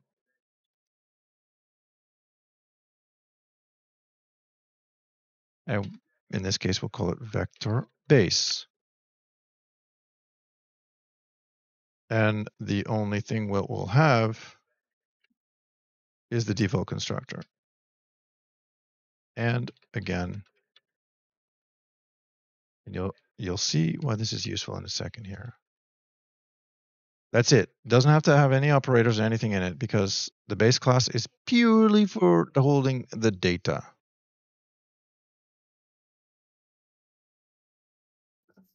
Um, and in my implementation, I chose to do it like this instead of doing it explicitly here. Oh, sorry, this can't be type name. This should be size t. Right. And the green dots are like, oh, don't you mean to name it like this? Why not? Okay, I don't You believe need you. to change it at line 11 as well, type name to size T. Oh yeah, yeah. Yep. Yep. Now he's probably complaining about Can be default. calling a calling a special member function. No, he's, he's suggesting to use delete to prohibit calling a special member function. But why would I? Oh. Whatever. I'm not going to do that. Mm, So we're just going to leave it like that. And um, now, if I want to specialize, it's very easy, right? I can just, um, yeah. So this is the two. Let's just copy this. No, sorry. Let's copy this. And then we'll specialize for the case where it is two. Then we can use the union with a struct, an unnamed struct. I know this is like an extension in C++, but whatever. Whatever tx and ty is, move that into the struct. So now we can access the elements either via the x and y parameters or via t using indexed parameters. So great. And let's do that for three. I do also have to implement the uh, the constructor for these, but I'll do that in a second. But it's it's slightly easier, and you can imagine for four, I'm just going to leave it for, for now. Um, but for two and three, yeah, these are common.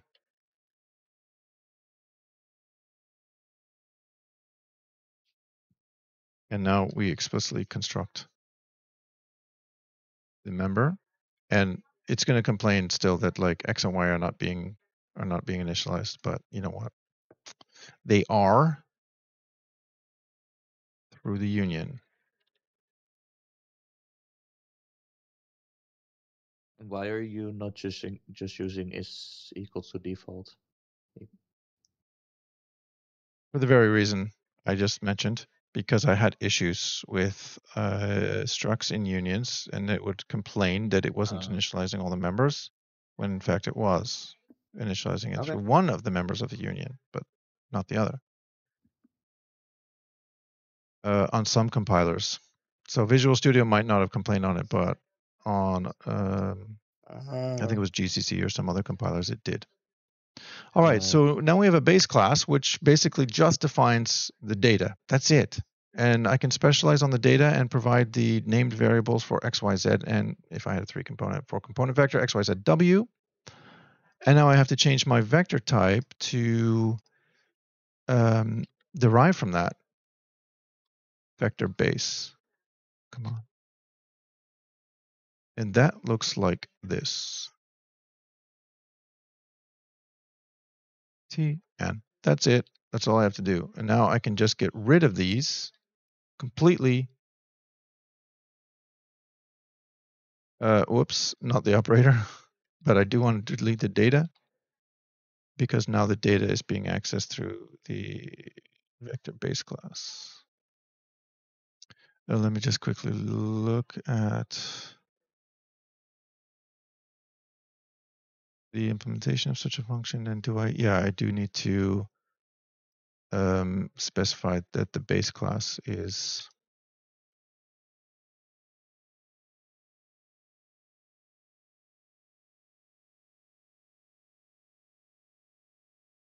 something like this.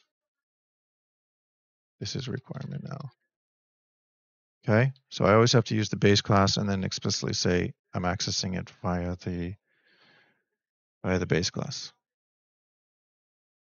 Hmm. Okay.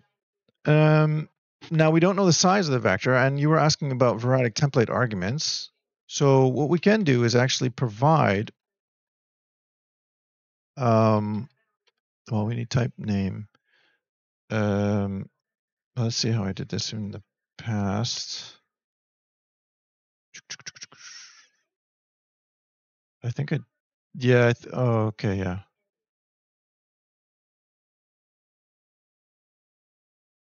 Yeah.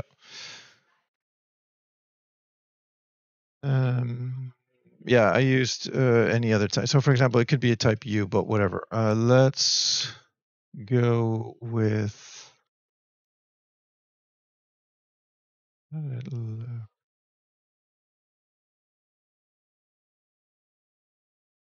I have to keep looking at this. What what did I do?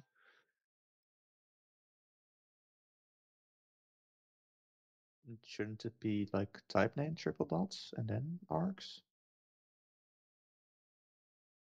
Uh, likely, yeah. Um, because the code I used before, I was using um, uh, constraints to constrain the types of the arguments being passed. So you could only use convertible types uh, to T. So, for example, if you try to pass an STD string here, this would work now. But if I constrain the types using uh, template template, oh god, what was the name of it? Template constraints. Let's just call them constraints. Uh, you can constrain the types, and I'm trying to convert it from the constraint type to the standard template type. So then it would be something like this. Uh, I th- think, yep. Yeah, it's really confusing, this syntax, but uh, it would be something like this. And then we have a template argument, uh, which can take any number of any any number of and type of arguments. So the implementation of this function is a bit whack. Let's see how it would go. Oops. See what it would look like because we need to determine the number of arguments being passed in the argument list. Oh, it is very confusing. It's really better to explicitly specify the arguments in in this case. Okay, let's uh, let's make a go at this. See if we can figure it out. The implementation of it. Um,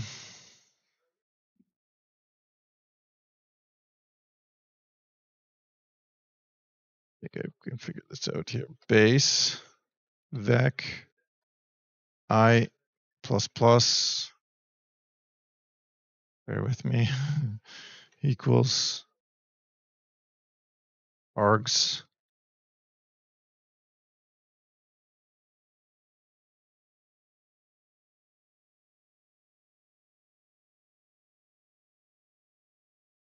Uh, something like that, but I, I had to do something really wacky to get this to work.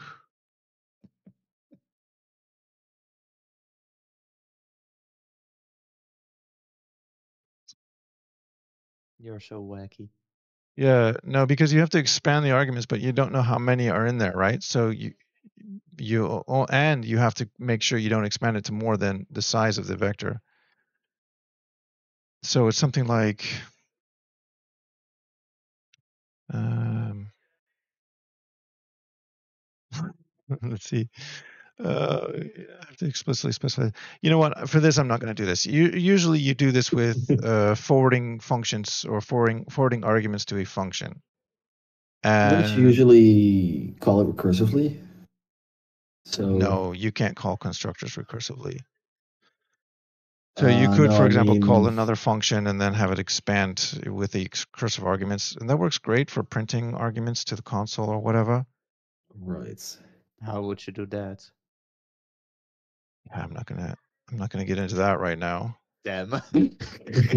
I tried. I'm just looking at my examples. I'll, I'll just show you the example that I'm trying to base it on.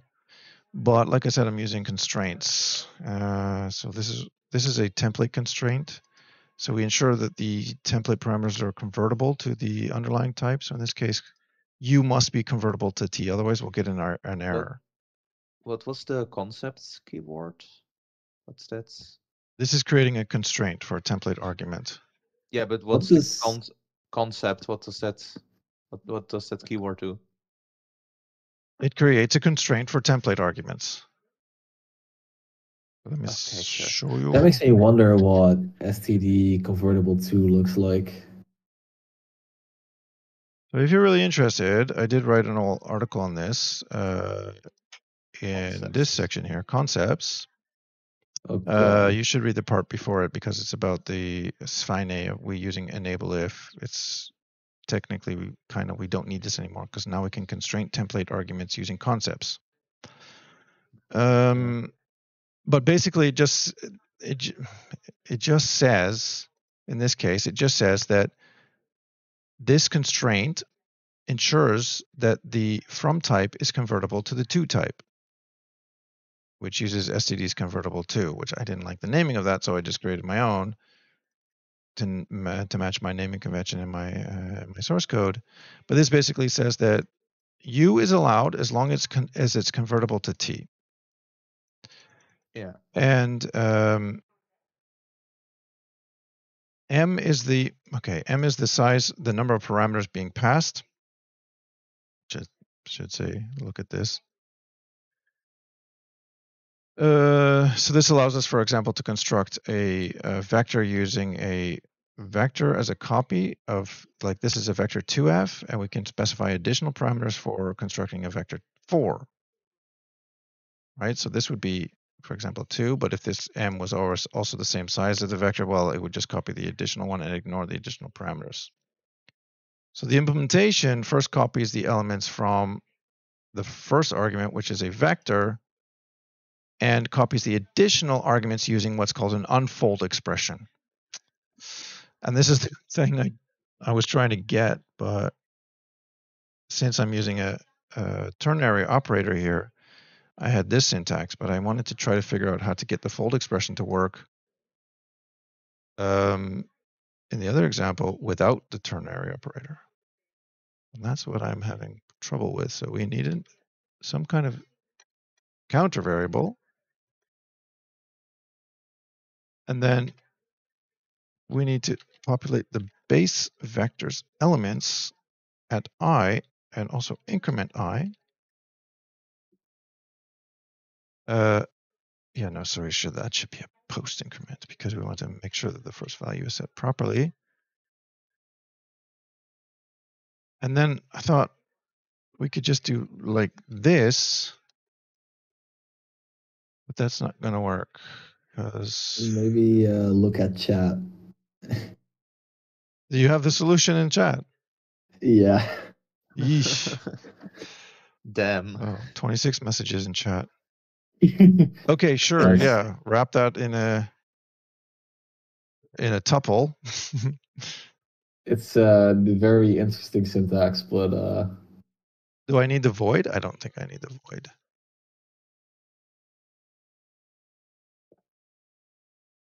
Apparently, I, Yeah. d- I need the void. need the void.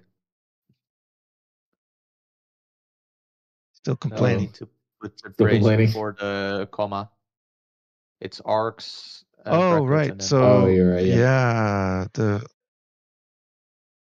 okay. So this is like a whack out some kind of temple tuple tuple using the comma operator as a it's as a hack to expand the arguments. Apparently, but doesn't doesn't tell, tell say me much to me. This is an example to me of C syntax just going too far. Yeah, Yeah.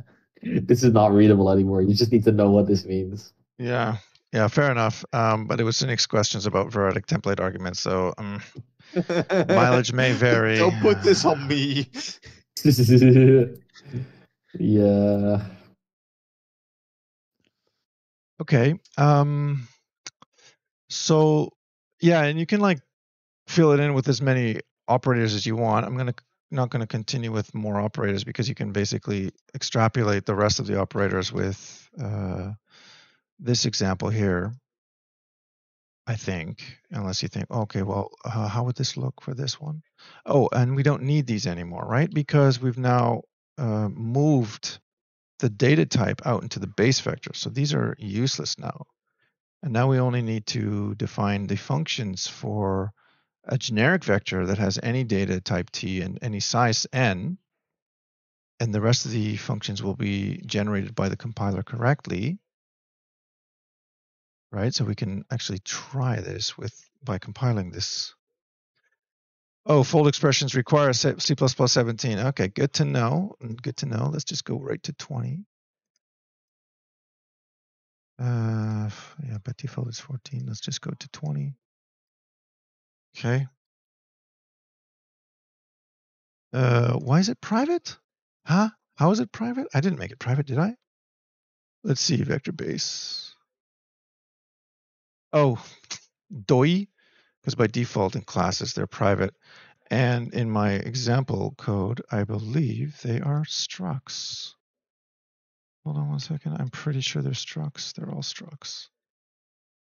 They're all structs. Okay, let's just change these to structs, which is better because then we don't have to explicitly make them private or public. Public by default in structs. Also with the specializations, uh, struct and struct. Uh, and now if we go back here and try to compile that, yes, now it's no problem. Okay, so he's happy and healthy, even with my four component types, which I didn't specialize, but whatever. Um, but yeah,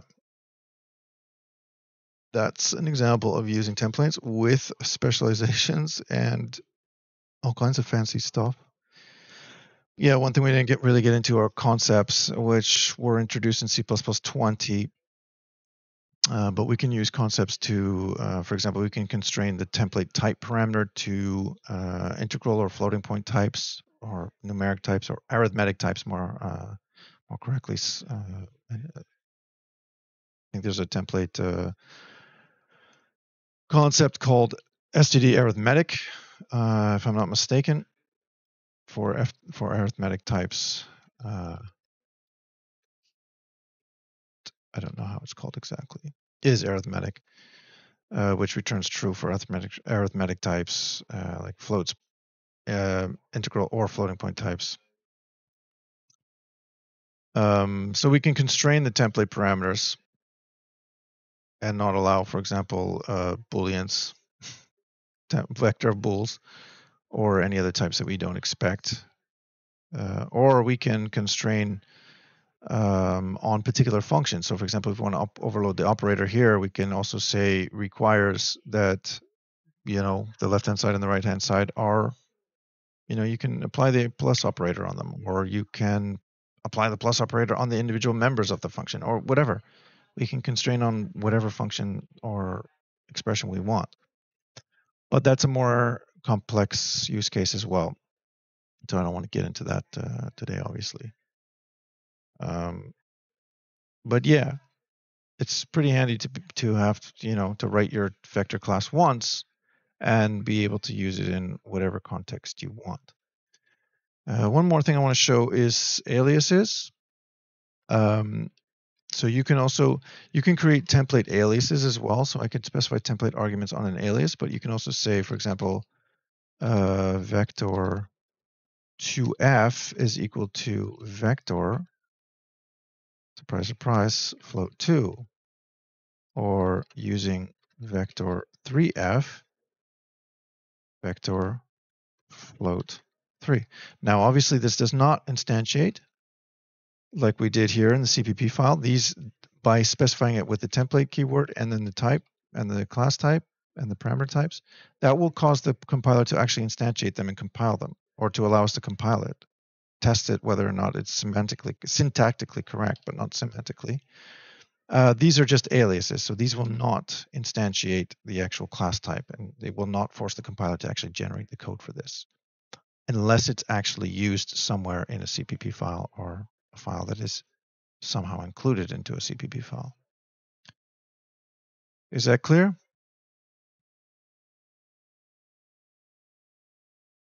Is So GLM types, vec3, float 3, very common type. All right, so you can use whatever. You can uh, alias as many of the variants as you want, uh, which could make your code in other places uh, much easier to read.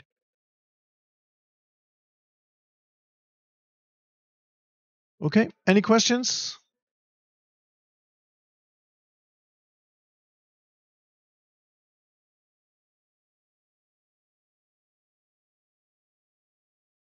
No? Okay, very good. Then um, I will print it, publish it. And uh, to everybody watching the stream after, uh, thanks for watching and uh, see you next time.